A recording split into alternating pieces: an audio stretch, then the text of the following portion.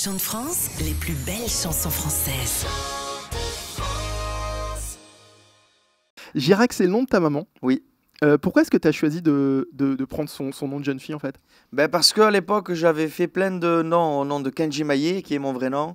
Et, euh, et à chaque fois, je changeais de compte. Et j'avais fait tellement de comptes au nom de Kenji que Sur les réseaux sociaux sur... sur, sur les réseaux, ouais, et je m'étais emmêlé dans les codes. J'arrivais plus à retrouver mon code. je me suis dit, bon, allez, je vais, en faire un, un vrai, que je vais tout enregistrer bien comme il faut, euh, euh, noter les codes et tout. Et du coup, je l'ai fait sur Kenji Girac. Et euh, un an après, je me suis fait connaître.